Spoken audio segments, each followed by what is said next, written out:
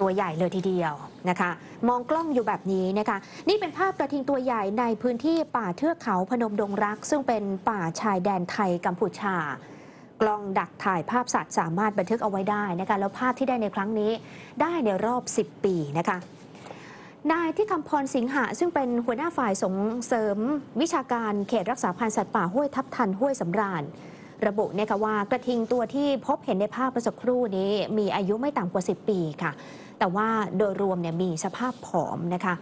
กล้องสามารถบันทึกภาพได้ 2 วันติดเลย ก็คือวันที่ 2 เมษายน และคืนวันที่ 4 เมษายน คาดว่าฝูงกระทิงน่าจะมีไม่ต่ำกว่า 2 ตัว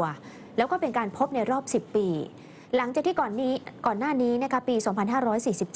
เจ้าหน้าที่พบกระทิงขนาดใหญ่อายุประมาณ 20 ปี หลงเข้ามาในเขตหมู่บ้านที่อำเภอกาบเชิงจังหวัดสุรินทร์แต่ว่าต่อจากนั้นตายลงไปเพราะว่าถูกนายพรานยิง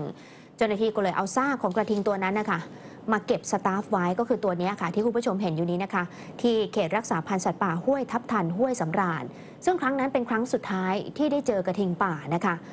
ขณะเดียวกันนอกจากกระทิงป่าแล้ว ตอนนี้เจ้าหน้าที่บอกว่ายังมีสัตว์ป่าอีกหลายชนิดนะคะไม่ว่าจะเป็นแมวดาวนกกระเรียน ซึ่งขณะนี้เขตรักษาพันธุ์สัตว์ป่าห้วยทับทันห้วยสำราญกำลังเร่งดำเนินการ ตามนโยบายของกรมอุทยานสัตว์ป่าและพันธุ์พืช ในการจัดรุดราดระเวนค่ะ